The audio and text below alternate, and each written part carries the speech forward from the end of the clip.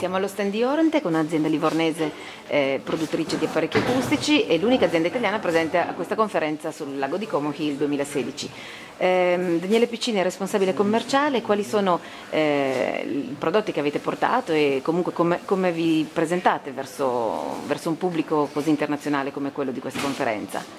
Ecco, noi siamo qui per la prima volta a questo congresso e abbiamo avuto molti contatti con molte persone di tutto il mondo, un congresso molto frequentato da, da persone estere, eh, molti motorini che sono stati interessati ai nostri prodotti diagnostici che presentiamo qui per la prima volta perché fino allo scorso anno conoscevamo soltanto apparecchi acustici. Da quest'anno abbiamo una nostra linea di prodotti diagnostici, presentiamo in anteprima qui due nuovi prototipi, uno relativo al,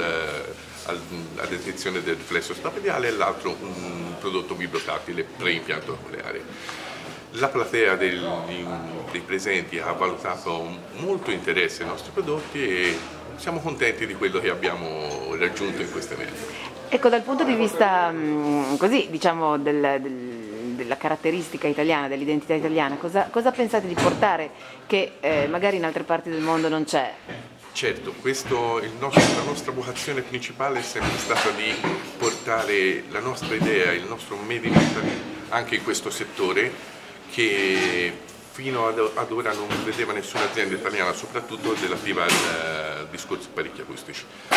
Noi abbiamo tentato di portare un po' di italianità in questo settore che ormai è dominato quasi esclusivamente da multinazionali nord europee o americane.